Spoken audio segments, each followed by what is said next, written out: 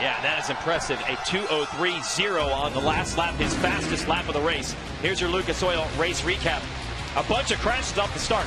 One out of the gate and one in the first turn as Cooper Webb and Weston Peick go flying. Bunch of other riders piled up with them. That led to a long race for them. Christian Craig is able to get out front with a motorsport.com Yeah. holeshot. Look at the top left. You see that's when uh, Kennard goes down. Not sure who he went down with. I think it was Harrison. And then I watch Cooper Webb third at screen, and then oh, and then Peick, and then it's just a chain reaction. And Webb hits the ground hard. He's going to be uh, a little bruised come tomorrow morning.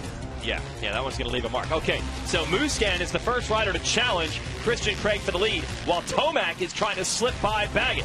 Musquin gets the number one spot, Tomac gets the number three spot, then he clears Craig, and now the fight for the number one spot.